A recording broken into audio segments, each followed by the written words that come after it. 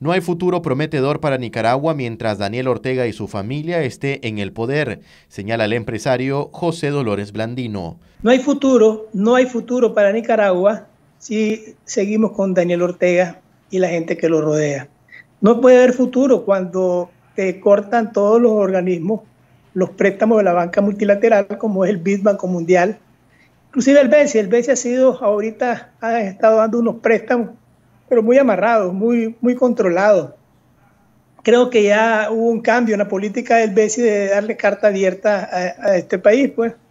Ya se, se, escucha, ya Taiwán no te habla de 100 millones de dólares, ya Taiwán está buscando cómo donar algo, pues, y, y, paliar un poco lo que se está dando, pero ya no se mira ese flujo de plata.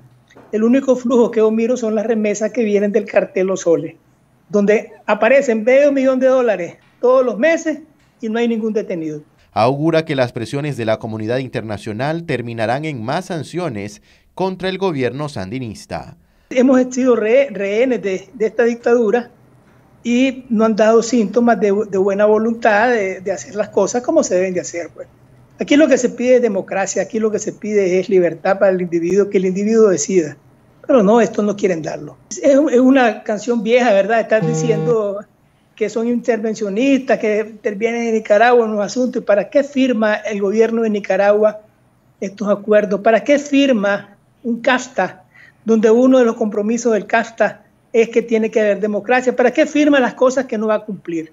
Entonces, cuando te vienen estas sanciones, eh, ellos son los que prácticamente están interviniendo en un convenio que firmaron y que les hace merecedores de sanciones. Pues las sanciones vienen y cada día van a ser más y cada vez más cerca del pueblo, desgraciadamente, porque si se ve el casta, eh, solo Zona Franca son ciento y pico de mil trabajadores que van al desempleo. De hecho, ahorita hay cantidad de gente desempleada y siguen cayendo las empresas. Marcos Medina, Noticias 12.